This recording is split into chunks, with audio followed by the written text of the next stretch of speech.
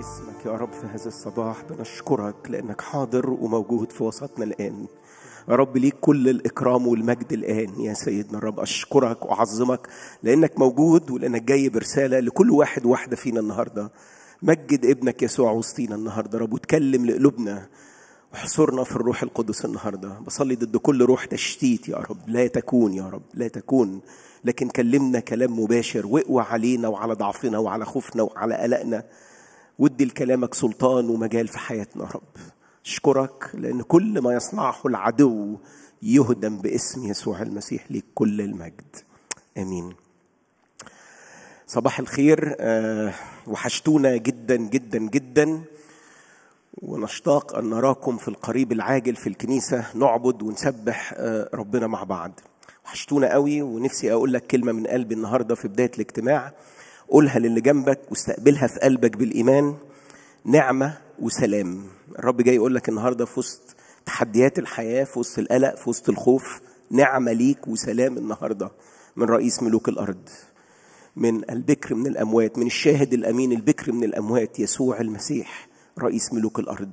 نعمة وسلام. اقبل الكلمة دي في قلبك النهارده لأن اللي جاي يقولها لك مش أنا اللي بيقولها لك اللي يقدر يعملها في حياتك يقدر يديك النعمة ويقدر يديك السلام. قول اللي جنبك وانت قاعد كده النهاردة نعمة وسلام يومكم مليان النهاردة بنعمة وسلام. عندي في الأول قبل ما أشارك معاكم من كلمة ربنا بعض الإعلانات المهمة جدا جدا جدا. منهم إعلان شخصي هبدأ بيه في الأول. الإعلان الشخصي ده عبارة عن تنبيه أو بيان نزل على صفحة الكنيسة. أحب أقراه زي ما هو.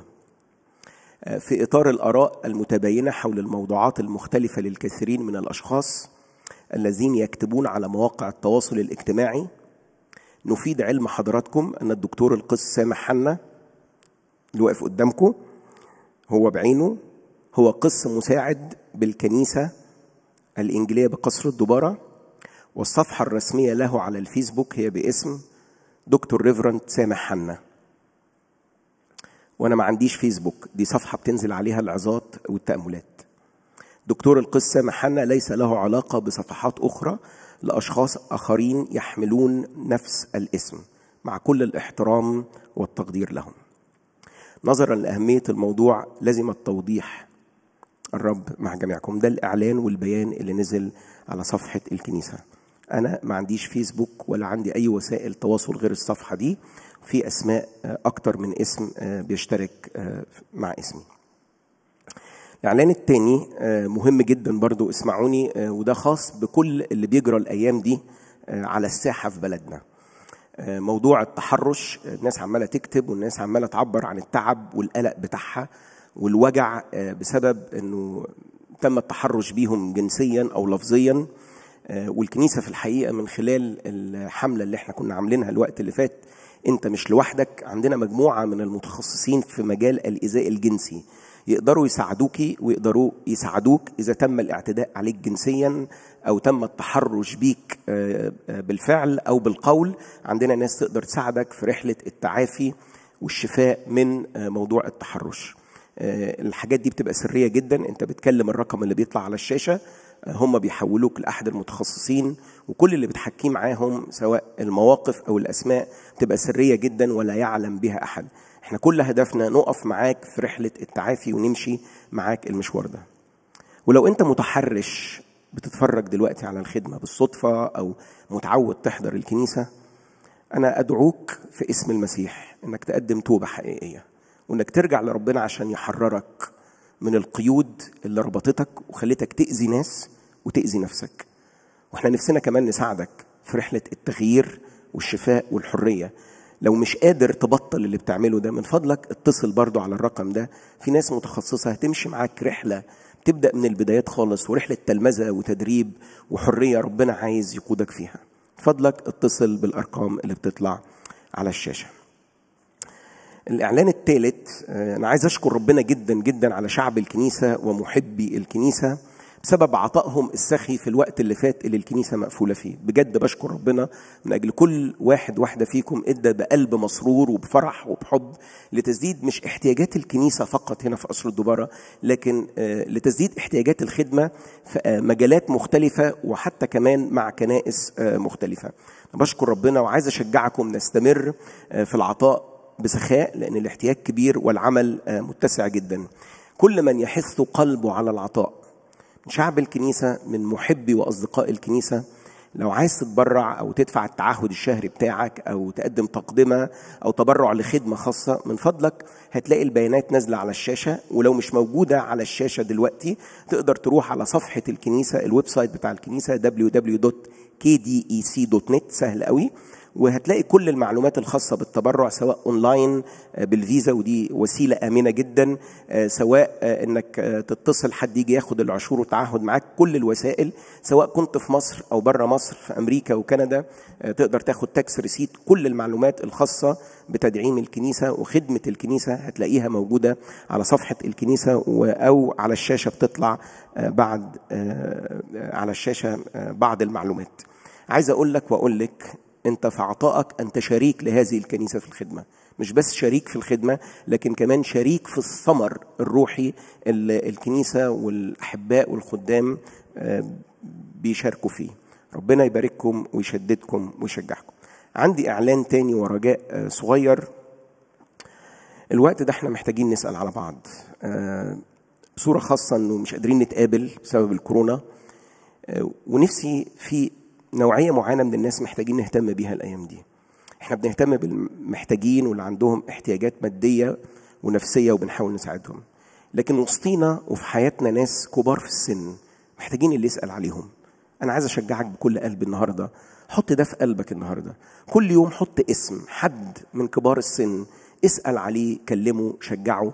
صلي معاها على التليفون صلي معاه من فضلك اعمل كده. هيفرق قوي قوي قوي في حياة الناس إنك تتصل بيهم. اختار شخص كل يوم تكلمه. ما تعمل مش بطلب منك تعمل ثلاث أربع خمس مكالمات. بطلب منك مكالمة واحدة لشخص آه، كبير في السن يحتاج إلى سؤالك وإلى تشجيعك وإلى صلاتك. خلونا نعمل الحملة دي الوقت الجاي إن إحنا نسأل على أهالينا أبائنا وأمهاتنا. مش بس الأب والأم بتوعك لكن الآباء والأمهات اللي ربنا حطهم في حياتنا. خلصت الإعلانات أشكر ربنا بسرعة. طيب آه عايز أشارككم بال باللي ربنا كلمني فيه أو الموضوع اللي مشغول أتكلم آه فيه النهارده.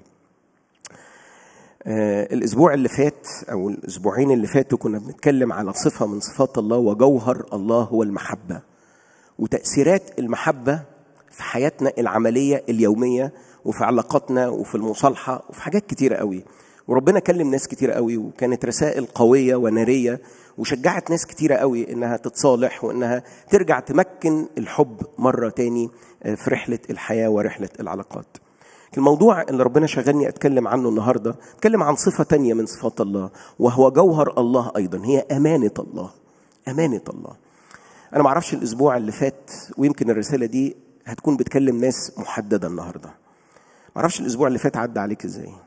مليان بإيه؟ الأسبوع اللي فات كم التليفونات والمشورة؟ آه، آه، كانت خيالية وكانت الحاجة اللي بتتكرر وعمالة تتكرر. أنا تعبان أنا قلقان أنا خايف أنا مش قادر آه، أنا فقدت شغلي أنا عندي مشاكل عائلية في علاقاتي أنا الصورة بقت سودة قدامي.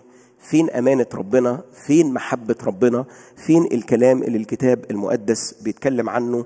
فين اللي أنتوا بتقولوه من على المنابر؟ في الحقيقة ربنا شغلني أتكلم عن الصفة دي أمانة الله من خلال حياة شخص.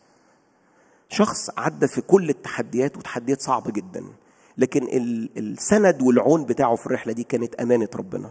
وبسبب إنه السند على أمانة ربنا قدر يعيش المكتوب قدر يمشي المشوار مع ربنا للآخر وقدر يمتلك المواعيد وقدر يشوف يد الرب الصالحة القديرة في حياته. عايز أقرأ معاكم بعض الأعداد آه، من كلمة الله هقرأ من صفر التثنية أصحاح سبعة هقرأ أعداد صغيرة وعدد تسعة.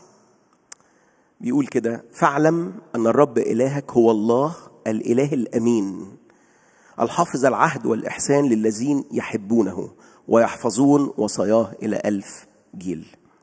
الترنيمه اللي كنا بنرنمها من تثنيه 32 وعدد أربعة هو الصخر الكامل صنيعه إن جميع سبله عدل إله أمانة لجور فيه صديق وعادل هو. أقرأ كمان من يشوع أصحاح 21 وأقرأ بعد كده جزء تاني من أصحاح 3 صح في يشوع 21 وعدد خمسة آه، واربعين يقول الكلمات دي وهو بيختم رحلة حياته. لم تسقط كلمة من جميع الكلام الصالح الذي كلم به الرب بيت إسرائيل. اسمع العبارة اللي جاية دي. بل الكل صار لأنه إله أمين. في يشوع ثلاثة عايز أقرأ موقف هتكلم عنه بعد شوية. في رحلة عبور الشعب ودخول الشعب عبور نهر الأردن ودخول الشعب إلى أريحة هقرأ ثلاث أعداد من أصحاح ثلاثة ومن عدد ثلاثة. وأمروا الشعب قائلين عندما ترون تابوت عهد الرب إلهكم والكهنة اللاويين حاملين إياه فارتحلوا من أماكنكم وسيروا وراءه. ولكن يكون بينكم وبينه مسافة نحو ألفي ذراع بالقياس يعني حوالي كيلو يبقى بينه وبينكم. لا تقربوا منه لكي تعرفوا الطريق الذي تسيرون فيه. لأنكم لم تعبروا هذا الطريق من قبل. وقال يشوع للشعب تقدسوا لأن الرب يعمل غدا في وسطكم عجائب. عدد 13 ويكون حينما تستقر بطون أقدام الكهنة حاملي تابوت الرب سيد الأرض كلها في مياه الأردن أن مياه الأردن المياه المنحدرة من فوق تنفلق وتقف ندا واحدا. عدد 15 فعند إتيان حاملي التابوت إلى الأردن وانغماس أرجل الكهنة حاملي التابوت في ضفة المياه والأردن ممتلئ إلى جميع شطوطه كل أيام الحصاد. وقفت المياه المنحدرة من فوق وقامت ندا واحدا بعيدا جدا. رحلة مشيها يشوع. رحلة يشوع كانت مليانة بتحديات وبصعاب كتيرة جدا. لكن يشوع وهو ماشي في الرحلة دي كان مستند على أمانة ربنا. وده بيبان من اول من أول المشوار لأول لما نقرأ عنه إنه كان مثلا من الجواسيس ال 12 اللي راحوا تجسسوا الأرض. كل الناس بتقول لا لا لا إحنا ما نقدرش نمتلك الأرض دي بسبب الشعب بسبب الأسوار العالية بسبب التحديات. لكن يشوع وكالب ابن يفنة الاثنين دول كانوا بيتكلوا على أمانة ربنا. ويشوع قال لا لا لا نحن نقدر عليها.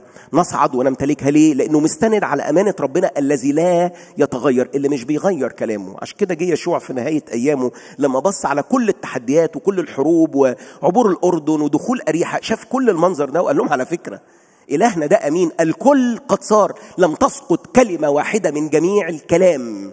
الصالح اللي الرب اتكلم بيه على الشعب ده. ولما تقرأ سفر يشوع بيديك لمحة بيديك صورة بيديك جانب من جوانب أمانة الله مع هذا الشعب. أمين هو أمين. يمكن النهارده أنت بتكتسب في رحلة صعبة مليانة حروب نفسية وحروب جسدية وحروب مادية ومليانة بالقلق والخوف. سهل قوي نعلن أمانة الرب في الوقت الكويس في الوقت اللي إحنا فيه ظروفنا كويسة. الله أمين بنبقى فرحانين قوي. بس في الأوقات الصعبة معرفش ليه مش بنغني لأمانة ربنا. معرفش ليه مش بنستند على العمود ده. خليني أقول يعني إيه أمانة الرب. أمانة الرب يعني هو أمين ثابت لا يتغير لا يكذب لا يندم لا ينسى لا يفشل ابدا. وده اللي قاله في عدد سفر العدد إصحاح 23 وعدد 19 ليس الله إنسان فيكذب أو ابن إنسان فيندم. هل يقول ولا يفعل؟ هو يقول وما بيعملش. ده مش إنسان. ما عندوش سبب يكذب. هو أمين. ربنا أمين. وده اللي قاله في تثنيه سبعة تسعة. فاعلم. خلي بالك اوعى تنسى أن الهك هو الله الأمين الحافظ العهد والإحسان للذين يحبونه ويحفظون وصاياه. ولما تقرأ سفر التثنية كلمة اللي اتكررت كتير في سفر التثنية أذكر تذكر عمال يكلمهم على أمانة الله معاهم في الرحلة والمشوار اللي عاشوه. بولس قال حاجة مهمة قوي لتلميذه تيموثاوس في تيموثاوس الثانية أصح 2 وعدد 13 قال له كده إن كنا غير أمناء فهو يبقى أمينا. في حاجة ما بيقدرش يعملها ما بيعرفش يعملها مش موجودة فيه. لن يقدر أن ينكر نفسه. أمانة ربنا معاك ومعايا مش متوقفة عليا مش متوقفة على أمانتي مش متوقفة على طاعتي للوصية وهتكلم عنها مش متوقفة على ظروفي وتسبيحي وخدمتي وثمري أمانة الله مطلقة في ذاته في جوهره. الله أمين. لا يقدر أن ينكر نفسه أبدا. ما إحنا قرينا في تثنية إن هو بيحفظ العهد والإحسان للذين يحفظون وصاياه. يبقى الخطاة مش هيكتشفوا أمانة ربنا. يبقى المؤمنين اللي نص نص مش عايشين وصاية ربنا مش هيكتشفوا أمانة ربنا. الكلام ده مش مظبوط. الله أمين أمين أمين. الشخص المؤمن اللي بيطيع ربنا وبيحفظ الوصية وعايش مع ربنا باستقامة وأمانة بيختبر تحقيق الوعود في حياته بيلمس بركات الله في حياته يوم بعد يوم شايف أمانة الرب واضحة كل ما هو بيحفظ الوصية وبيعيش مع ربنا هو متلامس مع أمانة الله. طب لو أنا مؤمن ومش بطيع الوصية فين أمانة ربنا بقى؟ تبقى فين أمانة ربنا؟ عارف أمانة ربنا في إيه بالنسبة لك وأنت لا تطيع الوصية وأنت لا تحفظ الوصية؟ عارف أمانة ربنا إن ربنا يفضل يكلمك.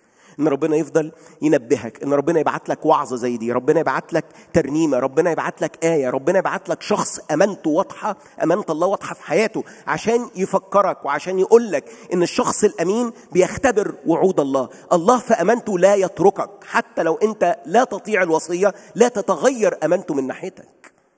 حتى الشرير الخاطئ الذي لا يصر بطرق الله يظل الله أمين لهذا الشرير. عشان كده بيقول إنه الله بيشرق شمسه على الأشرار والأبرار. الله في أمانته للأشرار والبعيدين عنه بيحفظ الخليقة بيحفظ الكون. في أمانته للأشرار والبعيدين بيقول كده إن نعمة أظهرت نعمة الله المخلصة لجميع البشر. دي نعمته إنه يفضل يعلن خلاصه ومحبته وفدائه لكل إنسان على وجه الأرض. دي أمانة الله لا تتغير. المؤمن بيلمس وبيختبر وبيشوف. والمؤمن المتعسر اللي مش بيطيع ربنا يفضل يكلمه وربنا يفضل يأدبه عشان يعيش الوصية ويعيش المكتوب. لأن من يحب الرب يؤدبه. عارفين أمانة الله؟ هي اللي حفظانا إلى هذه اللحظة. حفظ هذا الكوكب وهذه الخليقة إلى هذه اللحظة. فين في سفر التكوين لما تقرأ بعد الطوفان ربنا وعد إن يبقى في مواسم وفي حصاد وفي برد وفي حر وفي حاجات كتيرة قوي. عارفين ربنا لو شال إيده وسحب أمانته من الكون ده لن تستمر الحياة على هذه الكون. مش تقدر تكمل يوم بدون أمانة الرب. أمانة الله أساسية في استمرارية الحياة. الله أمين. لا ينسى ولا يتردد ولا يفشل ثابت ومسؤول ولا يتغير. مزمور 119 عدد 89 بيقول إلى الأبد يا رب كلمتك مثبتة في السماوات. إلى دور فدور أمانتك. من جيل لجيل لجيل نفس الأمانة نفس الشخص لا يتغير. يعقوب كده قال ما فيهوش تغيير ولا ظل دوران. دي أمانة الله. ده جوهر الله. لا يتغير. في شخصه لا يتغير. في كلمته لا يغيرها. لا أغير ما خرج من شفتيه أحبائي أمانة ربنا هي الشيء الوحيد اللي يزيل القلق والتوتر من حياتك. إنك تصدق وتستند على أمانة الله في حياتك. فين الأمانة دي اللي بتخليك تعرف تسبح؟ يا بخت الناس اللي شايفة الله أمين شايفة جوهر الله أمانته بتعرف تسبح ربنا بتعرف تهتف للرب من كل قلبها لأن شايفة إله الأمانة عظيم الصنيع. عارفين الأمانة دي؟ اللي بتحفظني وبتحفظك من الشرير. في آية كده الروح القدس نورها قدام عينيا وأنا بحضر الخدمة دي في تسالونيك الثانية 3 3 بيقول كده أمين هو الرب الذي سيثبتكم اسمع اللي جاية ويحفظكم من الشرير. أمين أمين يحفظكم من الشرير. أمانة الله أمانة مطلقة ثابتة. عشان كده مزمور 89 وعدد 2 بيقول أمانة الله مثبتة في السماوات. في آية كمان جميلة قوي. تشبيه في منتهى الروعة عن أمانة ربنا. في أشعية 11 عدد 5 بيقول ويكون البر منطقة متينة والأمانة منطقة حقويه. الأمانة منطقة حقويها يعني عايز يقول بالتعبير يعني البلدي إذا جاز التعبير أن الثياب التي يرتديها الله هي الأمانة. إن الحاجة اللي بتغلف شخص الله هي الأمانة. الستر الثياب اللبس هي الأمانة. عارفين إيه المشكلة؟ ان إحنا مرات بنبقى مصدقين الكلام ده إن الله أمين بس مش مختبرينه. ومرات بنقول الناس تختبره بس أنا ما أختبروش. أو شاكك في أمانة ربنا. عايز أقول لك سببين أو ثلاثة أو أربعة بسرعة كده عناوين قبل ما أتكلم على القضية الأساسية.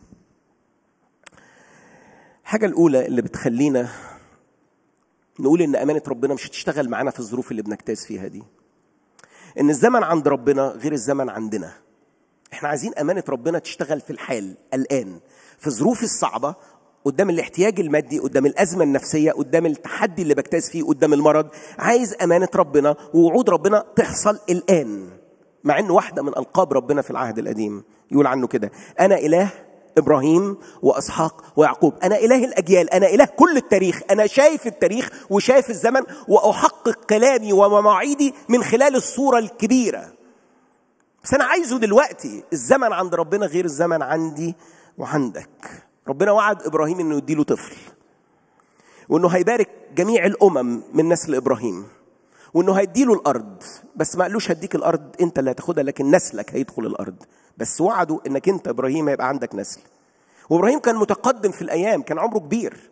الطبيعي جدا إن رب ده الوقت. ما ينفعش نستنى تاني 25 سنة. ما ينفعش. ولا يعني إذا كان في حوار بين إبراهيم وسارة ربنا قال كده طب ما نساعد ربنا. عشان إحنا الزمن عندنا مختلف والزمن عند ربنا مختلف. ودخل على هاجر وجاب إسماعيل.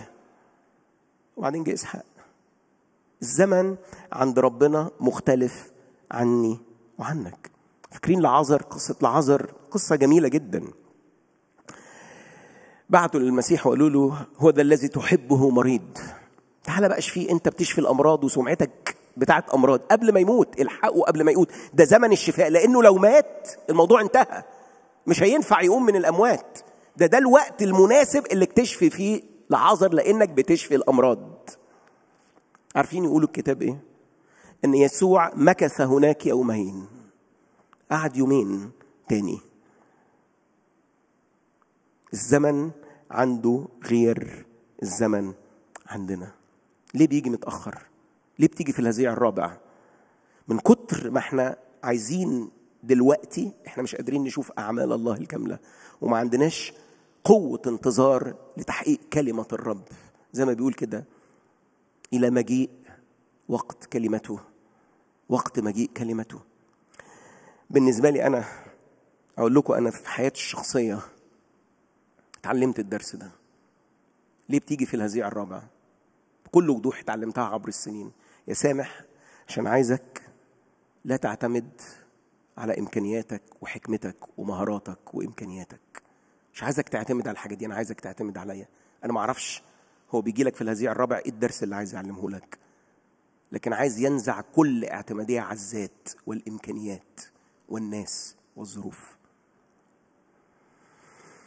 يمكن بيجي في الهزيع الرابع علشان يمجد ابنه. لما كل الصورة تبقى ضلمة. لما كل الناس تقول لا أمل ويجي يسوع يدي أمل ورجاء.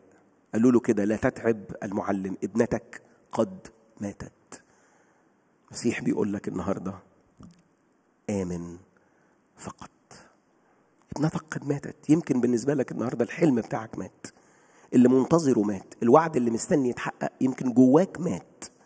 الرب بيقول لك النهارده آمن فقط. لكن في سبب تاني بيخلينا مش قادرين نستند على أمانة ربنا. مش بس إن الزمن مختلف إن الواقع اللي بنعيشه اللي عينينا شايفاه مالي المشهد. عينينا مركزة على الواقع مش على أمانة الرب ودي الأزمة. القصة بتاعت يشوع تخيل معايا كده التحدي اللي بيقابله يشوع مع الشعب. تحدي صعب جدا. الواقع بيقول مستحيل الشعب ده يعدي نهر الأردن. لأن نهر الأردن نهر صعب عبوره مختلف عن البحر الأحمر. في نهر الأردن عبارة عن تجميعة ثلاث أنهار كده مية بتيجي من جبال سوريا ولبنان من ارتفاع عالي جدا مندفعة من فوق آه، المية دي بتبقى متجمدة في شهر الشتاء ولما يجي الربيع الحرارة بترتفع والتلج بيدوب والمية بتنزل من- مندفعة بيقولوا شراح الكتاب تقريبا من 400 إلى 600 متر اندفاع المية من فوق. ثلاث أنهار بتتجمع تدفق شديد جدا. للمياه. العيان صعب. مش بس كده إنه ربنا بيقول للشعب ده هتعبر أو بيقول ليشوع أنت هتعبر في وقت الحصاد. الجزء اللي قريته معاكم في يشوع ثلاثة وقت الحصاد ده أصعب وقت لعبور الأردن. عادة نهر الأردن في فصل ال- ال- الخريف والشتاء والصيف العرض بتاعه عبارة عن 16 ل 18 متر. لما بيجي فصل الحصاد أو فصل الربيع بيتضاعف العرض بتاعه عشرة أضعاف يعني بيبقى 180 متر والمية نازلة بقوة. ده مش وقت عبور الواقع بيقول لو كان هيخلينا نعبر لو كان هيغير الظروف لو كان هيعمل المعجزة لو كان هيفتح الباب كان عنده الخريف كان عنده الشتاء كان عنده الصيف مش لما باظت خالص واتبهدلت خالص هيفتح لنا الباب. لا ده مش منطقي. طول ما عينيك على الواقع مش هتقدر تشوف أمانة ربنا ولا تختبر أمانة ربنا في حياتك. يمكن تكون النهاردة الأيام دي وأنت بتسمعني في نهر أردن كبير في وقت حصاد في وقت الح... ال... ال... ال... الصورة عمالة تسوء من يوم إلى آخر. وفقدت كل أمل ورجاء. عايزك النهاردة ترفع عينك من على الواقع وتبص على أمانة ربنا. كل ما عينيك على الواقع كل ما تنظر إلى الواقع كل ما الإحباط هيملأ قلبك والتوتر هيملأ قلبك والقلق هيملأ قلبك. الواقع مخيف يا جماعة الواقع مخيف. لكن لما ترفع عينك وتبص على أمانة ربنا تشوف أعماله في حياتك وحياة الآخرين في حياة شعبه كل ما كتب كتب لأجل تعليمنا. الواقع بيقول مش هينفع. مش بس كده. في سبب تاني إن الشعب اللي كان عايز يعبر ده ما شافش معجزة عبور مية قبل كده. في العهد القديم في قصة العبور في معجزتين عبور للمية. واحدة مع موسى الشعب اللي كان مع يشوع ما شافش المعجزة دي لأن الجيل اللي قبل كده ماتوا في القفر كلهم. ما فضلش غير يشوع ابن نون وكالب ابن يفونه دول اللي شافوا المعجزة الأولى. لكن المعجزة الثانية ما عندناش سجل. أنا ما ما شفتش في حياتي معجزة زي كده في الوقت الصعب. ما حصلتش في حياتي قبل كده. يبقى ليها تحصل دلوقتي. في ناس لما بتبص لورا بتقول أنا ما شفتش. يبقى مش هيحصل. الشعب ده اللي كان بيعدي ما شافش عبور البحر الأحمر. سمع.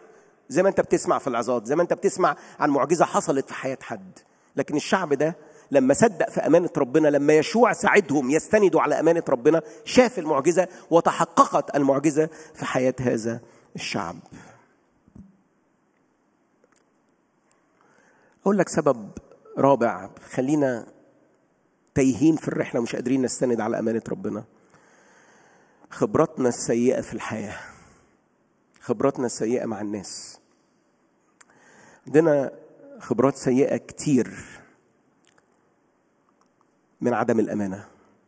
ناس كتيرة اتجرحت من ناس بسبب الخيانة خيانة زوجية حدث ولا حرج خيانة الأصدقاء وإفشاء الأسرار و... وإن أنا أوعد بحاجة وما أعملهاش. حتى الآباء والأمهات مرات كتيرة بيوعدوا أولادهم وبناتهم بحاجات وما بيعملوهاش. عندنا سجل مليان بخبرات فشل في الحياة عن الأمانة.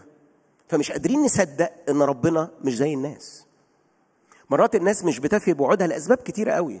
اللي اللي ما عندوش نفس طويل آه، ما عندوش إرادة آه، يكمل يحقق وعده. اللي مزاجه بيتغير. النهارده كان كنت كويس معاه فوعدته أعمل له كده. آه، عمل موقف فاتضايقت منه فاروح أنا ما كملش الوعد. أو كسلان مش قادر أنفذ اللي أنا اتفقت عليه.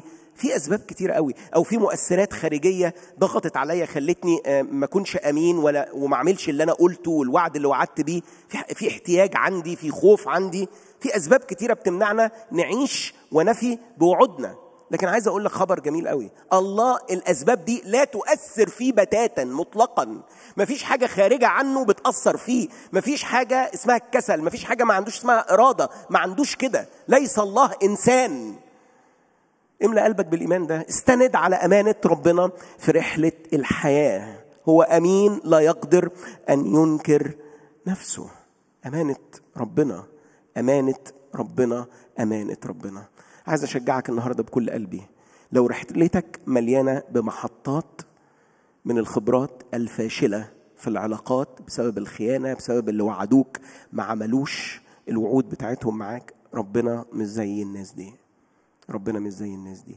عايز النهارده أشجعك إنك تستنى الزمن الإلهي الوقت الإلهي الوقت الإلهي.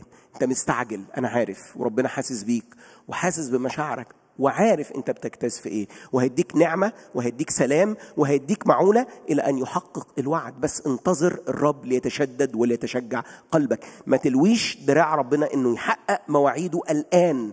أمانة الله بتضمن لك أنه سيحقق مواعيده حتما. في وقتها في الوقت المناسب لأنه شايف الصورة على بعض. صدق إن ربنا هيعمل كده. اوعى تخلي الواقع والعيان يهزك. اوعى تخلي الواقع والعيان يهزك. العيان إبليس بيستخدمه عشان يحبطك. ارفع عينك من على العيان وبص على أمانة ربنا. ارفع عينك من على الناس والذكريات والخبرات الفاشلة اللي سرقت استنادك على أمانة الله في حياتك. خلي بالك. في ناس تانية حاطة أمانة ربنا إنه يعمل المعجزة بالطريقة دي بالشكل ده بالأسلوب ده. ربنا ما بيكررش المعجزة. فين في معجزات كتيرة ليها علاقة بالمية ما فيش ولا واحدة شبه التانية. حتى في إقامة الموتى مثلا. يعني لما تشوف ربنا إزاي أقام لعازر أنتن الزمن عدى خالص ريحته طلعت. قال له لعازر هلم خارجا. أمر ندى عليه. وهو في القبر. ابن أرملة نايين ده لسه في الكفن في الصندوق بتاعه معدي كده. ما ناداش عليه لمس. لمس. النعش. قام الميت. ابنة يايروس قال لها كده يا صبية. في الأوضة على السرير. لسه بقى بيوضبوا لها الكفن. يا صبية لك أقول قومي. ما تحدش ربنا في شكل المعجزة. هيعملها إزاي؟ مش شغلتك. هيعدي بيك الأردن إزاي؟ مش شغلتك. هيفتح لي باب للشغل في زمن الكورونا إزاي؟ مش شغلتك. هيسدد لي احتياجاتي المادية إزاي؟ مش شغلتك. دي شغلته هو. دي أمانته هو. استند على أمانة ربنا. دي الأمانة اللي استند عليها يشوع في رحلة الحياة. عشان كده في كل الحروب وكل المحطات الصعبة في حياته كل الأزمات اللي اجتاز بيها اجتاز بأزمات على فكرة يشوع مش بس حروب عسكرية لكن عدى في أزمات خصوصا أمام هزيمة الهزيمة أمام عاي وال... وال... وعدم القداسة بتاعت شعب كان عنده تحديات كتير قوي. دي الأمانة اللي استند عليها يشوع. ودي الأمانة اللي خلت يشوع يمشي مع ربنا طول السكة وما يطلعش وما يتهمش ربنا وما ما يخلي وما خلاش أمانة الله مجرد ترنيمة بيقولها لكن حقيقة واقعة في حياته وقدر يعيش مع ربنا للآخر.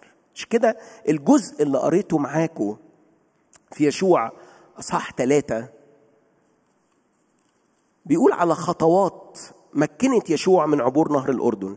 الخطوة الأولى إنه استند على أمانة ربنا، وأمانة ربنا دي خلته يعمل حاجات مهمة قوي، حاجات أنا وأنت محتاجينها الأيام دي نعملها لنختبر وندخل أرض الراحة، أرض الموعد، أرض الثمر المتزايد. أرض اختبار حضور الله.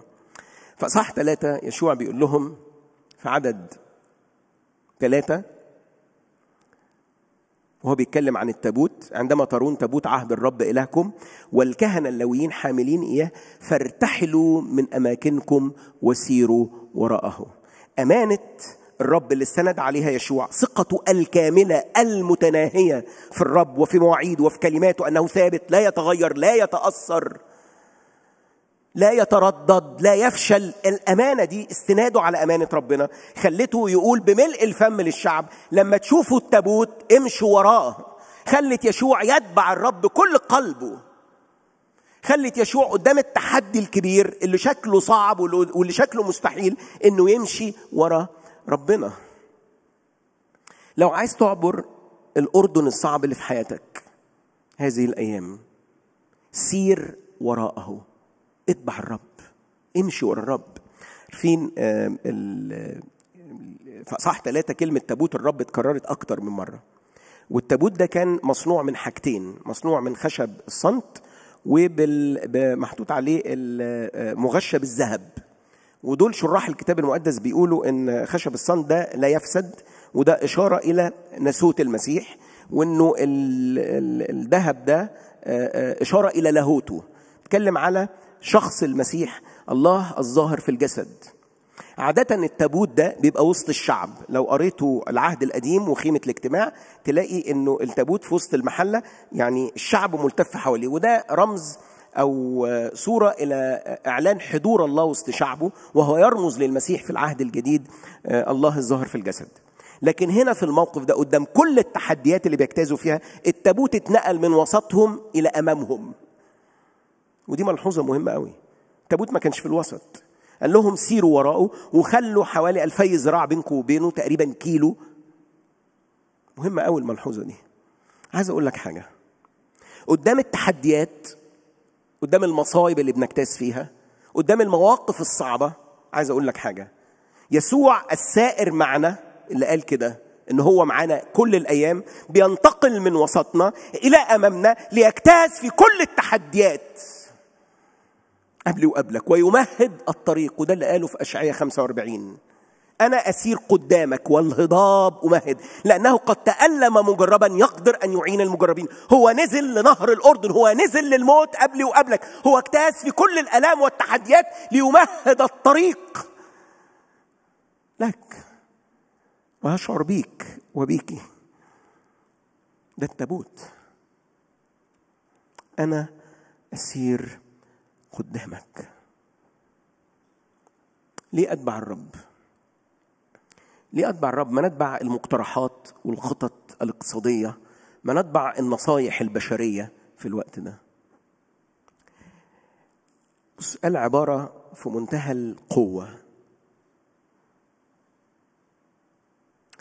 فعدد أربعة ولكن يكون بينكم وبينه مسافة نحو ألفي ذراع بالقياس لا تقربوا منه لكي تعرفوا الطريق تعرفوا الطريق الذي تسيرون فيه لأنكم لم تعبروا هذا الطريق من قبل.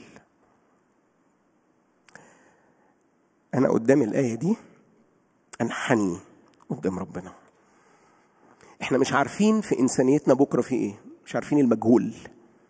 أعتقد يعني المعلوم دلوقتي كان مجهول بالنسبة لنا. زمن الكورونا ما كناش نتوقعه خالص. كانت حاجة مجهولة. بس لما جه شفنا عجب العجاب. عجب العجاب. أنا ما أعرفش أنت أنا وأنت ما نعرفش بكرة. صدقني. ولا نعرف السنة الجاية.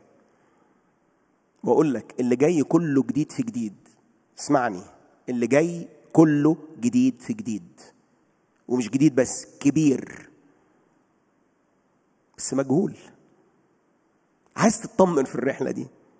عايز قلبك ما يرتجفش جواك. عايز ركبك ما تقعدش تخبط في بعض. امشي وراه امشي وراه لأن اللي جاي مجهول. المستقبل مجهول مجهول مجهول مجهول.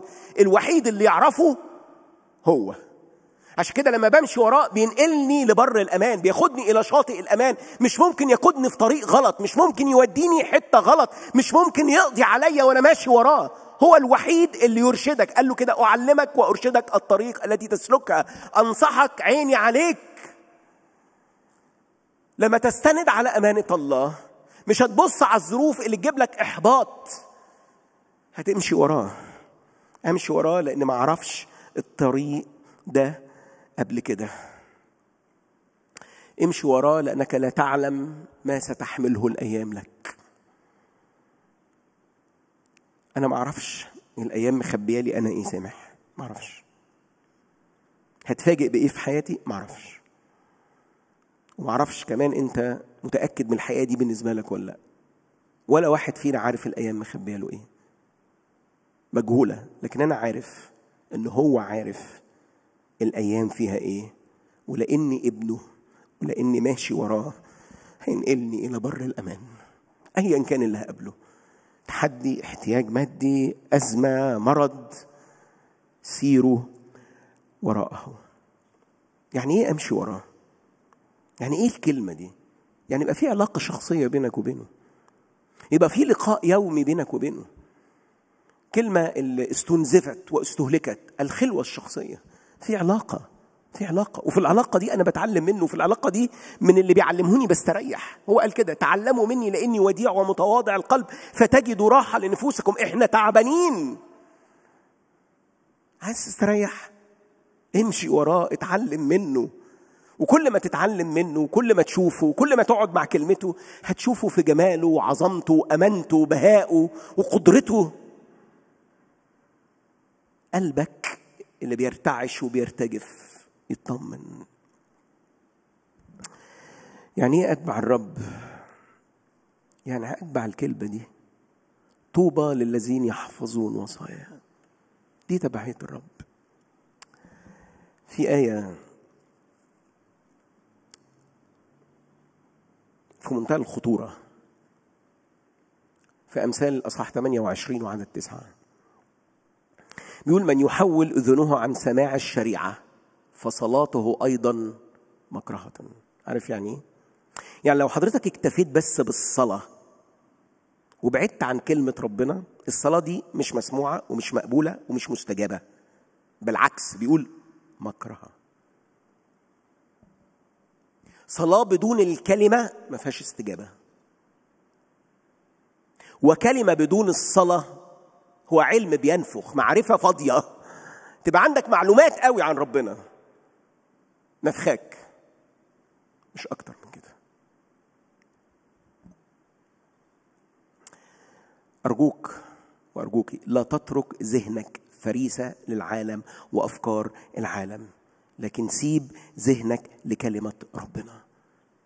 تبعية الرب إن أمشي وراه وأتعلم منه. يقول كده جعلت الرب أمامي في كل حين لأنه عن يميني فلا أتزعزع. أنا في لقاء شخصي معاه.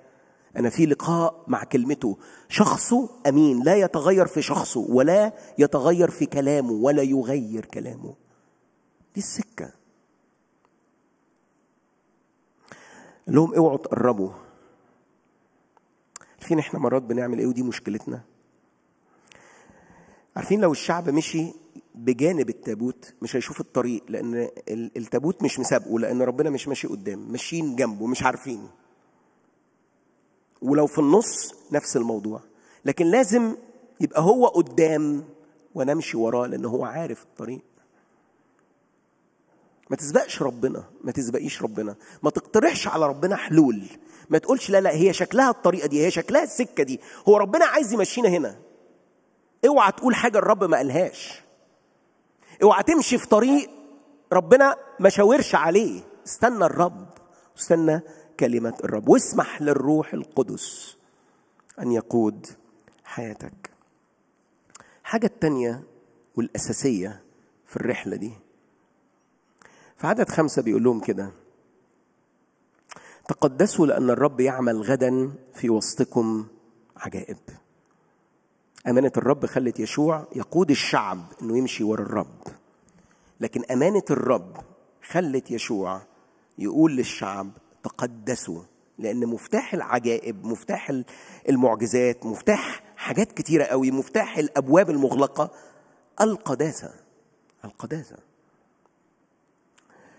تقدس يعني تخصص يعني تكرس يعني انفرز للرب. يعني ابعد عن كل نجاسات العالم. يعني موت الشهوة اللي جواك شهوة العيون وشهوة الجسد وتعظم المعيشة. وده اللي بيقوله بولس في رسالة غلطية الذين هم للمسيح قد صلبوا الجسد مع الأهواء والشهوات. علمونا وإحنا صغيرين كده من بعض التدريبات الروحية. قالوا لنا الكلمات دي. كل يوم كده اعمل تمرين صغير وما تعملش تمرين جديد إلا لما تخلص من التمرين القديم. نعمل إيه؟ يعني قول له اختبرني الله وأعرف قلبي وشوف إيه في قلبك الشهوة اللي في قلبك إيه المرارة اللي في قلبك إيه عدم الغفران اللي في قلبك النظرة الشريرة اللي في عينيك إيه الحاجة اللي ملوثاك.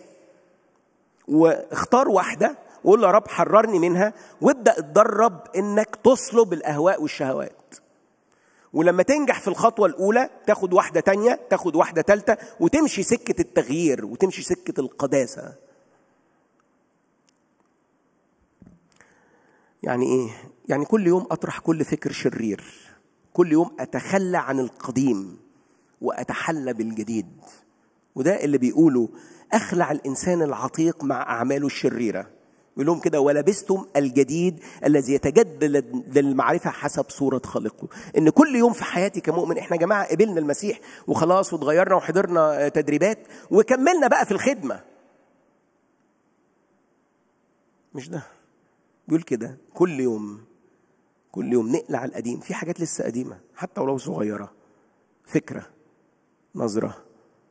شعور بايخ ناحية حد مش قادر أغفر لحد. في حاجات جوه. زمان كنا بنتوب عن الدبش الكبير الزنا والسرقة. والكيد حاجات كبيرة كده. كل ما بنكبر مع ربنا بنتوب عن حاجات أصغر وأصغر وأصغر وأصغر إلى أن نتنقى. القداسة التي بدونها لن تختبر العجائب. ليه لازم أتقدس؟ عشان تشوف ربنا في ظروفك الصعبة. أكبر احتياج ليك في الظروف الصعبة والأبواب مقفولة إنك تشوف ربنا. صدقني. مش احتياجك إن الظروف تتغير والناس تتغير والشغل يتحسن والفلوس تكتر. مش ده احتياجك. احتياجك إن في الوقت الصعب قدام نهر الأردن اللي مياهه يقول عنه الكتاب كبرياء الأردن قدام ده تشوف ربنا الأقوى من نهر الأردن وكبريائه ده احتياجك. بس الكتاب بيقول القداسة في عبرانيين 2 14 القداسة التي بدونها لن يرى أحد الرب. أنت محروم من رؤية الرب قدام كل التحديات اللي بتجتاز فيها. عشان كده قلبك بيرتجف عشان كده أنت خايف. احتياجك أن ترى الرب. وعشان ترى الرب القداسة. اوعى تمشي في رحله الحياة وانت مش شايفه. اوعى. قال كده طوبى لأنقياء القلب لأنهم يعاينون الله. كتير يقولوا لي أسيس إحنا صلينا وربنا ما بيعملش حاجة. صلينا ومنتظرين والوعد وقال لنا وكلمنا من الكلمة وكلمنا عن طريق ناس وكلمنا في المخدع. مفيش حاجة بتحصل. آه. راجع القداسة في حياتك. القداسة عدم القداسة بيعطل استجابة الرب. إن رعيت إثما في قلبي لا يستمع لي الله. خطاياكم صارت فاصلة بينكم وبينه. ده اللي بيقوله. أنا أول واحد بقول الكلام ده ليا. راجع قضية القداسه في حياتك. القداسه بدونها مش تبقى مثمر في حياتك. يقول في تيموثاوس 2 21 فإن طهر أحد نفسه من هذه يكون إناء للكرامة مقدسا نافعا للسيد مستعد لكل عمل صالح. كتير الناس بتخدم كتير ومش شايفة ثمر. راجع راجع نفسك. أحبائي عجائب ومعجزات وتحقيق المواعيد. معجزات الغد مرتبطة بقداسة اليوم. عجائب الغد مرتبطة بقداسة اليوم. الشعب تقدس ودخل أريحة. عبر الأردن ودخل أريحة. الشعب رجع للخطية. هزم هزيمة مريرة من مدينة صغيرة. وربنا قال لهم كده في وسطك حرام يا إسرائيل لا أعود أكون في وسطكم. حاجة التالتة اللي خلت يشوع قدام أمور تبدو غير منطقية تبدو غير منطقية وأمور صعبة وتحديات يسلك بالإيمان مع ربنا. في أصحاح وعدد 13 الطريقة اللي ربنا قال بيها هتعبروا الأردن. قال له كده لما الكهنة حامل التابوت بتنغمس أرجلهم في نهر الأردن رجليهم بطون أقدامهم بتلمس الأردن تحت. خلي بالكم المية المشهد تخيلوا المشهد. المية نازلة شلالات والتابوت شايلينه رمز حضور الله. لما بقى اللي شا... الكهنة دي اللي شايلين التابوت رجليهم تنزل. ده مشهد غريب جدا. طب ما التابوت هيغرق. وبعدين لو غرقنا وغرق التابوت لا في كهنة يصلوا ولا يقدموا ذبايح ولا ولا الحاجات دي ولا في تابوت ولا في حضور الله. كلام صعب. لكن يشوع لأنه مصدق في أمانة ربنا اللي قال له كده عارف إن ربنا هيعمل اللي قاله وهيعبروا الأردن حتى لو كانت الطريقة والشكل مختلف. الأوضاع صعبة والمية منحدرة إلى فوق. الأوضاع صعبة في حياتك. الأوضاع صعبة في حياتك جدا. لكن اسلك بالإيمان مع ربنا. احبائي الإيمان هو الثقة بما يرجى والإيقان بأمور لا ترى. هيوقف المية إزاي؟ مش شغلتي. مش شغلتي. مش منطقي. المية تقف. طب في البحر الأحمر يعني أهو شقه بعصاية موسى وعمل حيطة كده مية وحيطة كده مية وعبر الشعب. مالكش دعوة هيعملها إزاي؟ مش شغلتك. هيسدد احتياجاتك المادية إزاي؟ مش شغلتك. هيشفيك بالدواء ولا بمعجزة؟ مش شغلتك. مستحيل. مرات كده العيان يخلي الكلمة اللي بتطلع من جواك مستحيل مستحيل مستحيل. هو كان ينفع أن العذراء تحبل وتلد ابنا؟ ودي حقيقة كل الأديان غير المسيحية يعترفون بها وكل العالم يعترف بالميلاد العذراوي. هو ده كان منطقي أن العذراء تحبل وتلد ابنا؟ مش منطقي. بالنسبة للناس لكن بالنسبة لصاحب القدرة الإله الأمين اللي وعد إنه في ملء الزمان هيأتي بالمسيا جاء المسيح. هو كان منطقي سارة وهي متقدمة في الأيام. تحبل وتلد؟ هو ده منطقي؟ مش منطقي. بالنسبة لك. بس بالنسبة له هو عارف هو بيعمل إيه. جالي تليفون آه، رسالة يوم الثلاثاء اللي فات. من صديق آه، اتقابلت معاه من أكتر من خمس سنين في السويد. آه، آه، هو أنا استأذنته أحكي الحك- الحكاية دي. هو مش مصري هو عراقي. شخصية آه، جميلة جدا مؤمنة قبلت الرب. ومن ساعة ما قبل الرب هو مخصص مكرس للرب. وعايش باستقامة قلب وبيخدم ربنا بحماسة شديدة جدا وببساطة الأطفال. ما فيش حد إلا ما بيكلمه عن المسيح ويعمل مجموعات ويروح وهو بيشتغل آه، عنده تاكسي ف آه، وهو بيوصل الناس يكلم الناس. بيعمل حاجات كتيرة قوي. ولما قابلته من خمس سنين قال لي أسيس أنا جوايا طلبة بقالي سنين بصليها وربنا ما حققهاش لغاية دلوقتي وأنا مصدق بصوا الكلام ده قال لي أنا مصدق إن ربنا هيديني طفل. الكلام ده أنا قابلته من خمس سنين كان بقاله 15 سنة متجوز. يوم الثلاثة اللي فات كده يعني 20 سنة بعت لي قال لي يا قسيس إحنا هنبقى ثلاثة أنا مراتي حامل. 20 سنة. 20 سنة. آمن فقط. ابنتك قد ماتت. آمن فقط. تأخر الوعد. آمن فقط. الباب لسه مقفول آمن فقط. العيال ما اتغيرتش وما قبلتش ربنا آمن فقط. البيت مش عارف إيه جوزي آمن فقط. استنى الرب استنى وعود الرب. في رحلة التحديات استند على أمانة الرب اللي هتخليك تتبع الرب كل قلبك تخليك تعيش حياة القداسة تخليك تعيش حياة الإيمان. أختم معاكم بآية في آخر أصحاح في الكتاب المقدس. آية في سفر الرؤيا أصحاح 22 وعدد ستة.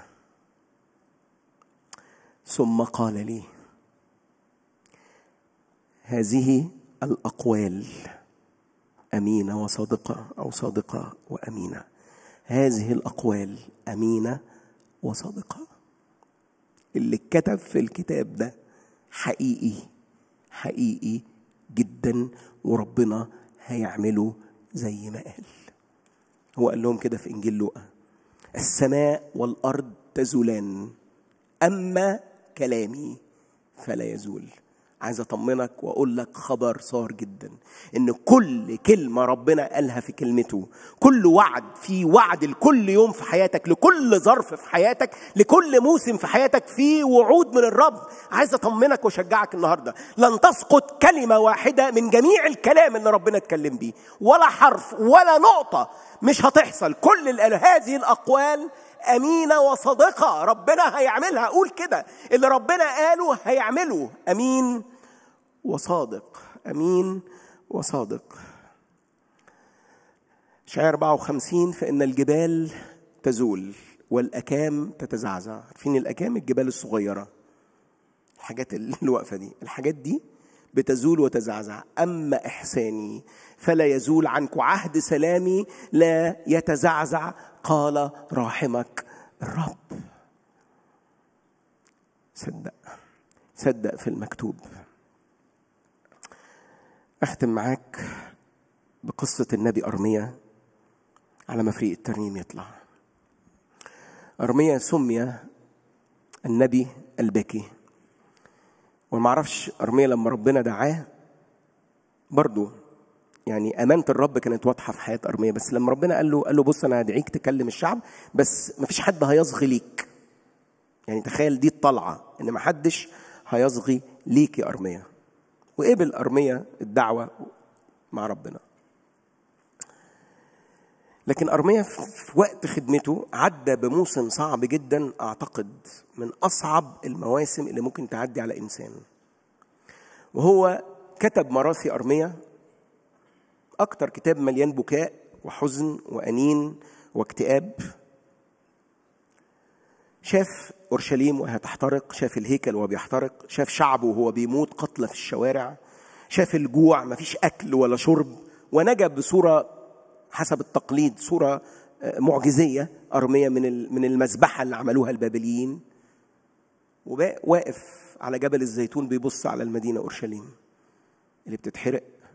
ويمكن أنت شايف حاجات في حياتك عمالة تتحرق وتنتهي وتقع. وقال عبارة أصعب ما يكون يقولها مؤمن أسوأ حالة ممكن تكون فيها. في مراسي أرمية عدد أصحاح ثلاثة وعدد 18 وقلت بادت ثقتي ورجائي من الرب. أنا فقدت الثقة والرجاء. أنا مش قادر أكمل. ويمكن دي تكون حالتك النهاردة إنك فقدت الثقة والرجاء. بس أرمية قال حاجة لنفسه وأنا بصلي من كل قلبي النهاردة. قول الحاجة دي لنفسك. في نفس الأصحاح أصحاح ثلاثة وعدد 22 قال إنه من إحسانات الرب إننا لم نفنى لأن مراحمه لا تزول. فكر نفسه بالكلمات دي. هي جديدة في كل صباح. اسمع الكلمة الثانية كثيرة أمانتك. قول لنفسك النهاردة لو محبط لو محبطة إن أمانة الرب كثيرة كبيرة هتتحقق لأنه إله أمين. لأن الذي وعد أمين بولس يقول كده في كرونس الثانية أصح واحد وعدد وعشرين فيه النعم وفيه الأمين لأنه مهما كانت مواعيد الله لو كانت مواعيد ربنا بعيدة قوي عنك مهما كانت بعيدة مش قادر تشوفها مش قادر تقرب منها مش قادر تلمسها فيه النعم وفيه الأمين. أردد هذا في قلبي. قول الكلمات دي لنفسك. إن هو أمين أمين. نصيبي هو الرب قالت نفسي. من أجل ذلك أرجوه طيب هو الرب للذين يترجونه للنفس التي تطلبه. جيد أن ينتظر الإنسان ويتوقع بسقوط بسكوت خلاص الرب. عايز ناخد وقت نصلي فيه. أنا مش بقلل من الوجع اللي جواك والأزمة اللي عندك. والاحتياج اليومي للأكل والشرب والأمور المادية والاحتياج للراحة الجسدية من الآلام الجسد بسبب المرض أو الراحة النفسية مش بقلل. بس جاي أدعوك النهاردة. استند على أمانة ربنا. جاي أدعوك النهاردة بكل قلبي. استند على أمانة ربنا. ليس الله إنسان فيكذب ولا ابن إنسان فيندم. هل يقول ولا يفعل أو يتكلم ولا يفي؟ اسمع عدد عشرين. واستقبل ده بالإيمان في قلبك. بيقول إني قد أمرت أن أبارك. الكلمة دي ليك النهاردة. الرب بيقول لك في أمر خرج بالبركة لحياتك. إني أمرت أن أبارك فأنه قد بارك فلا أرده. لم يبثر اسما في يعقوب. اسم يعقوب القديم. هو عايش في الالتواء وهو عايش بعيد عن الرب. ربنا شايفك في المسيح مش شايفك في خطيتك. ولا رأى تعبا في إسرائيل يعقوب بعد ما اتغير بقى اسمه إسرائيل. الرب إلهه معه وهتاف ملك فيه. غمض عينك معايا في اللحظات دي. استند على أمانة الرب. ده احتياجك النهاردة. مش عارف هتعدي الأيام الجاية إزاي مش عارف تعبر إزاي. أكتر حاجة تخليك تعبر الأيام دي. وتشيل القلق والتوتر والإحباط والاكتئاب إنك تستند على أمانة الرب وإن عينك تبقى على الإله الأمين. هو الله الإله الأمين حافظ العهد والإحسان.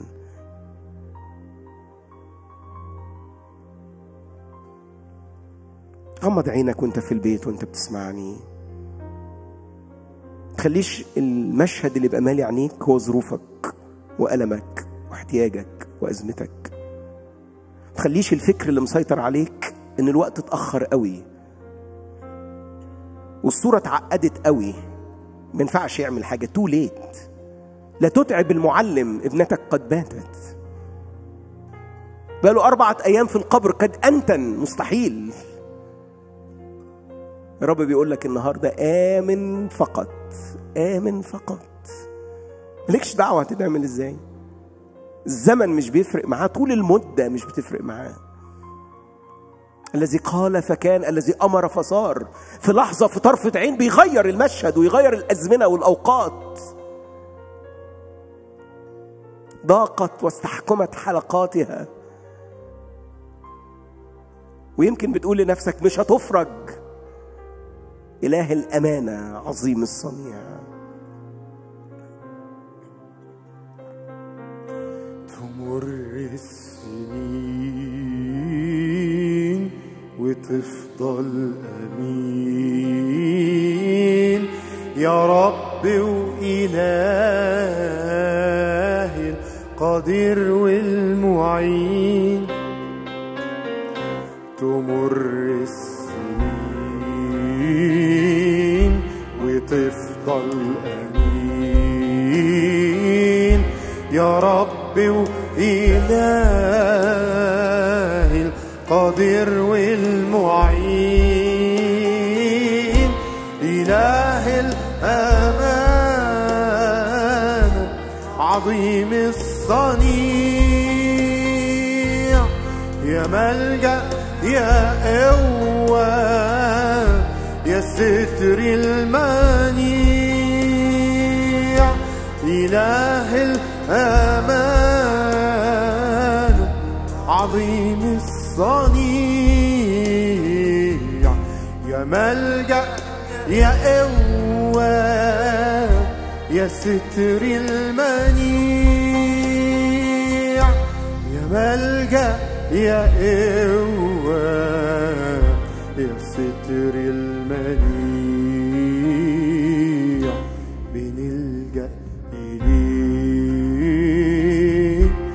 على طول بنلاقيك وفي ضفنا وهمومنا نرميها عليك. بنلجأ إليك على طول بنلاقيك وفي ظروفنا وهمومنا نرميها عليك إله الأمانة عظيم الصنيع. يا ملجأ يا قوة يا ستر المنيع. إله الأمان عظيم الصنيع. يا ملجأ يا قوة يا ستر المنيع. يا ملجأ يا قوة يا ستر المنيع. في وقت الجروح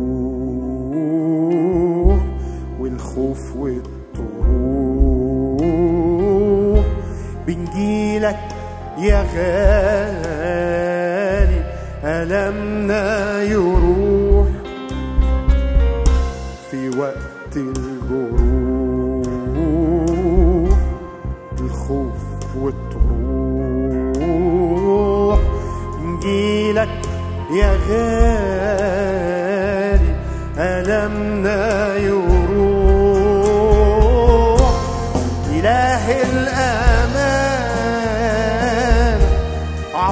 نجم الصنيع. يا ملجأ يا قوة يا ستر المنيع. إله الأمان عظيم الصنيع. يا ملجأ يا قوة يا ستر المنيع. ملجأ يا قوة يا ستر المنيع اوعى إبليس يكون بيضحك عليك في اللحظات دي يقول لك دي قصص قديمة قوي من العهد القديم. ده تاريخ. بص على اللي حواليك وبص على الواقع. ده كلام تأملات كلام للاستهلاك من على المنابر. هو فين؟ عايز أقول لك إلهنا الأمين. هو امس واليوم وإلى الأبد. هو هو كتب المرنم الكلمات دي قال امبارح واليوم وبكرة الجاي. ضامن وعودك إلهنا الحي. إلهنا ما ماتش. إلهنا قام من الأموات. حي إلى أبد الآبدين. ضامن وعوده. مسؤول عن اللي قاله. لا يتنصل من مسؤوليته من ناحيتنا.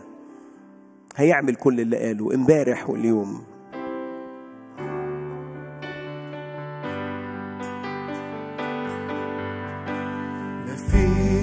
غيرك يشبع. نفوس عاشت جعانة ويفجر من الصخرة. مية القلوب عطشانة. مفيش غيرك يشبع. نفوس عاشت جعانة ويفجر من الصخرة. مية القلوب عطشانة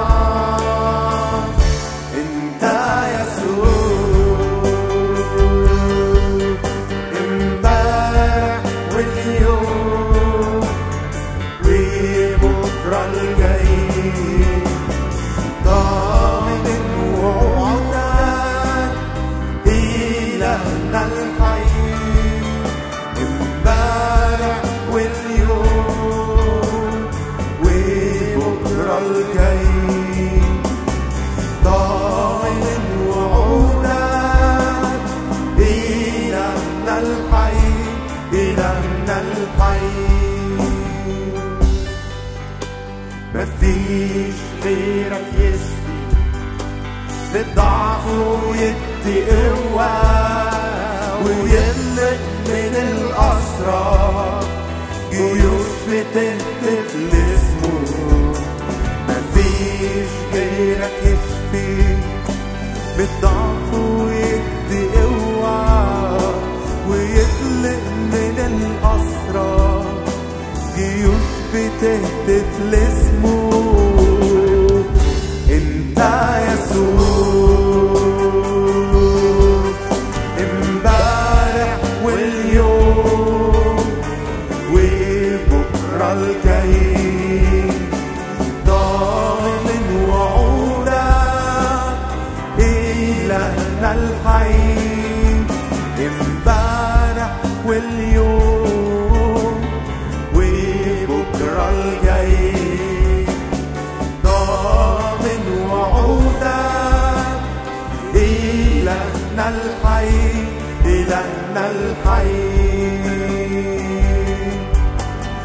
مفيش غيرك يهدم أساس أقوى السجود يملانا بالتهليل وفرحنا في مطلوب مفيش غيرك يهدم. أساس أقوى السجود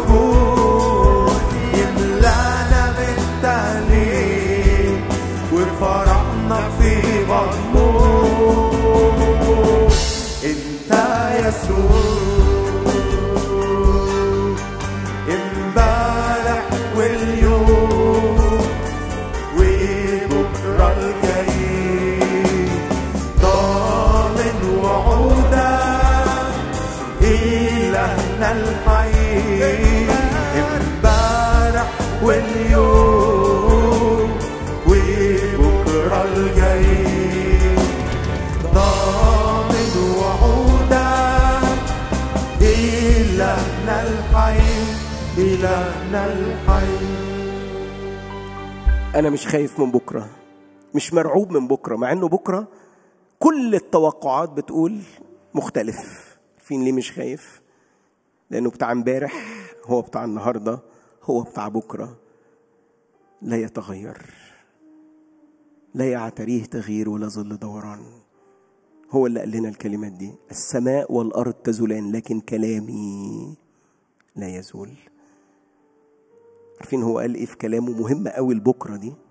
ها أنا معكم كل الأيام والى انقضاء الدهر. أعظم وعد ممكن تختبره في حياتك مش إن ظروفك تتغير إنك تراه في رحلة الحياة. لست أعلم ما قد يكون في غدي. أنا مش عارف بكرة في إيه لكن عارف إنك معايا. متأكد إنك معايا. وهتسير قدامي. والهضاب تمهد. وهتشعر بألامي وباحتياجي. وهتعزيني وهتقويني. حتى لو الاحتياج لم يسدد وحتى لو لم أشفى أنا مصدق إنك معايا. في الرحلة دي إيدك بتطبطب عليا وبتسندني. بكرة مجهول.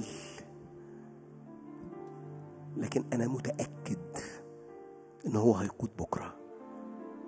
هيمشي قدامي. عارفين هيعمل إيه؟ لو ده خط النهاية هيوصلني لغاية خط النهاية. لأكون معه إلى أبد الأبدين. هيحملني زي ما بيقول كده. حتى إن صرت في وادي ظل الموت. همشي في الوادي ده وهو شايلني. لا أخاف شرا لأنك أنت معي.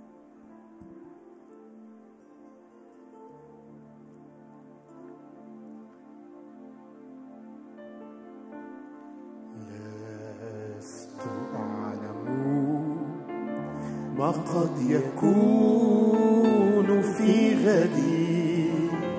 لا أعلم لا أعلم. لست أعلم. كم سيطول العمر بي؟ لا أعلم. لا أعلم لكنني يا ضامني.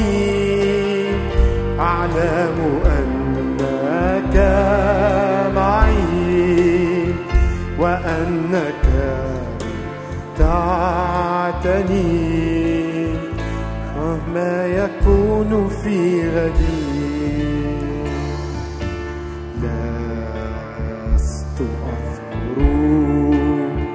يوما به نسيتني. لا أذكر لا أذكر لا لست أذكر.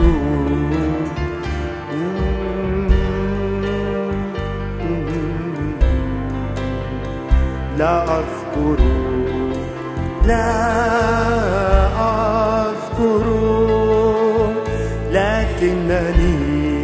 يا عاضدي أذكر عطف ضمني حبا به سبيتني. عونا به رفعتني. صلي معايا في اللحظات دي. أشكرك وأعظمك عشان أنت الإله الأمين. حافظ العهد والإحسان لألوف. أشكرك عشان عدم أمانتنا يا رب لا تبطل أمانتك. أشكرك عشان محبتك ثابتة إلى الأبد ورحمتك إلى الأبد. أشكرك لأنك موجود الآن يا رب وهنا مع كل واحد يا رب. أشكرك لأن جاي تكلمنا في أعماقنا يا رب جاي تكلم كل واحد فينا أن يستند على أمانتك. مشوار طويل والمشوار صعب. لكن إحنا جايين نرمي نفسينا على أمانتك يا رب. جايين نقول لك سامحنا. سامحنا في كل مرة شكينا في أمانتك. سامحنا في كل مرة يا رب. حاولنا نعملها بإيدينا. سامحنا. جايين النهاردة نستند على الأمانة دي. ملناش غيرها ملناش غيرها. ملناش غيرك يا رب. جايين نعلن إيماننا فيك. انت بتاع امبارح وانت بتاع النهارده وانت بتاع بكره. جايين يا رب نقول لك كلامك مش بيتغير مصدقين في كلامك يا رب. كلامك لن يزول. حرف من كلامك لن يزول يا رب. أنا مصدق مصدق مصدق إنك مع كل واحد. أشكرك لأنك لست ببعيد يا رب عن كل واحد فينا. يا رب أنا بصلي ليا ولإخواتي. الوقت صعب يا رب الوقت صعب. افتح عينينا على أمانتك يا رب. افتح عينينا على أمانتك يا رب النهارده. ده العمود الثابت يا رب الذي لا يتغير. شخصك لا يتغير كلمتك لا تتغير. ادينا قوة يا رب للانتظار الأيام الجاية. ادينا قوة انتظار يا رب. صلي معونة ونعمة لأولادك وبناتك. معونة ونعمة. في وقت الأزمة ده يا رب معونة ونعمة. مد إيدك يا رب وانتشل ناس بتقع بتقع ناس مننا عمالة تقع. بادت ثقتها ورجائها يا رب فقدوا الأمل يا رب. مد إيدك الأيام دي. بنعمة وبإحسان وبرحمة. مد إيدك وسدد احتياجات يا رب وسطينا. مد إيدك واشفي أجساد. مد إيدك. أنا مصدق بكل قلبي يا رب إن مراحمك لن تزول. واحسانك لن يزول. وإن امانتك كتيره وكبيره قوي وإحنا جايين نرمي نفسنا على الأمانة دي يا رب. بصلي معونة لإخواتي الأيام دي من فضلك. معونة معونة معونة من عندك ونعمة. عدي بينا الأيام يا رب. عدي بينا الجبال العالية. عدي بينا نهر الأردن. عدي بينا واعبر بينا يا رب. لا يفقد أحد الأيام دي يا رب لا يفقد أحد.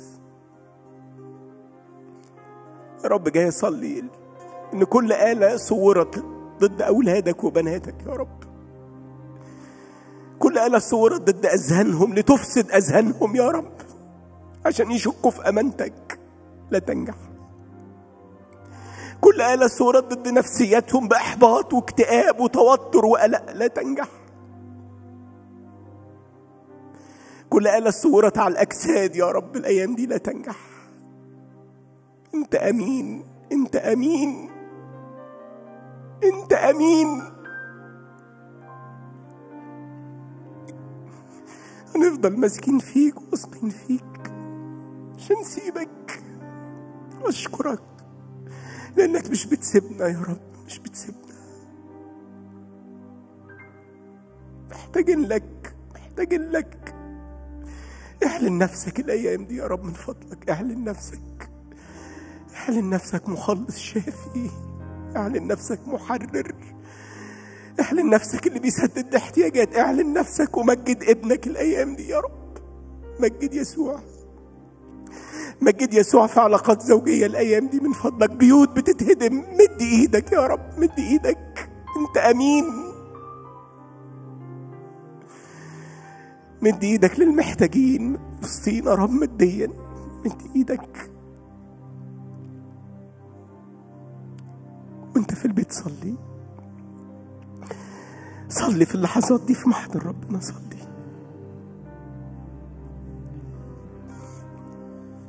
أفكارك عجيبة عن فكري بعيدة. لكن بإيماني مصدق فيها وسط الأوجاع وفي الأتعاب تديني نور ونصرة تفتح أبواب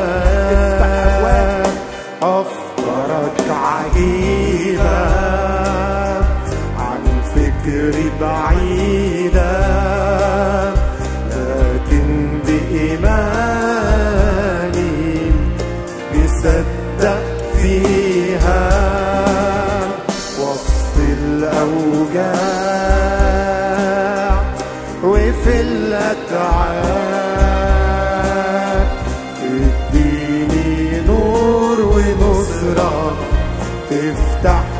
أبواب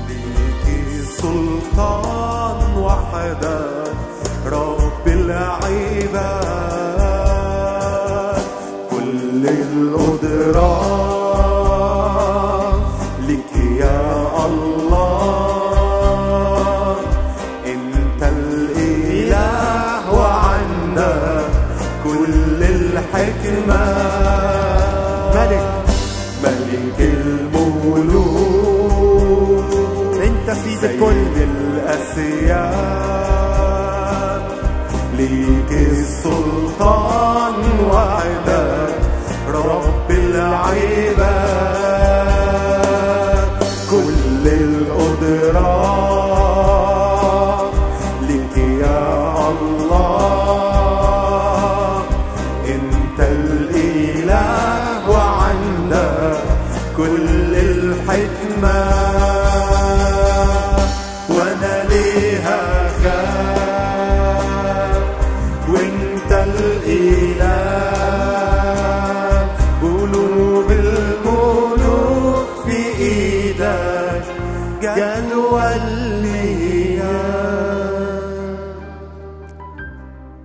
الرسالة اللي كانت في قلبي النهاردة إن أمانة الله تستعلن ليك وليكي وأمانة الله جاية تقول لك ليك نعمة وليك سلام. دي أمانة ربنا. نفسي الأيام دي نكمل صلاة نفسي نصلي لبلدنا. في توتر جامد على الحدود مع ليبيا عايزين نصلي لمصر وللجيش وإن الأمور تحسم وربنا يحفظ بلادنا وحدودنا. صلي معايا في اللحظات دي وإحنا بنختم الاجتماع. رب أشكرك وأعظمك لأنك أنت الإله الأمين الحافظ العهد والإحسان لألوف والأجيال من جيل لجيل يا رب. إحنا جايين نرفع مصر بين إيدك الأيام دي. مصر بين إيدك يا رب. تحديات بتحيط بينا من كل حتة. لكن أشكرك لأنك أمين لوعدك مبارك شعبي مصر. رب كل توتر على الحدود في ليبيا كل مناوشات رب احمي جيشنا واحمي شبابنا واحمي أولادنا. ادي حكمة لر- للرئيس يا رب عبد الفتاح السيسي والحكومة. يا رب كده يصنعون كل ما في قلبك. احفظ البلد يا رب. صلي يا رب أن الوباء يذهب من مصر. يا رب هذا الوباء يذهب يذهب وتبقى معجزة. الناس عمالة الأعداد تزيد ومصر الأعداد عمالة تقل. اعمل معجزة في البلد دي من فضلك يا رب. زيارات إلهية للملايين يا رب. إعلانات عجائب آيات. هذه الأيام منتظرينك يا رب. اسمعنا ونحن ندعوك بالشكر. قائلين يا أبانا الذي في السماوات تقدس اسمك ليأتي ملكوتك لتكن مشيئتك كما في السماء كذلك على الأرض. خبزنا كفافنا أعطينا اليوم واغفر لنا ذنوبنا كما نغفر نحن أيضا للمذنبين إلينا. ولا تدخلنا في تجربة لكن نجنا من الشرير. لك الملك والقوه والمجد إلى الأبد. آمين. وإله السلام يعطيكم السلام من كل جهة. نعمة ربنا مخلصنا يسوع المسيح. محبة الله الآب شركة وموهبة وعطية الروح القدس تكون معكم وتدوم فيكم من الآن وإلى الأبد. ربنا معكم.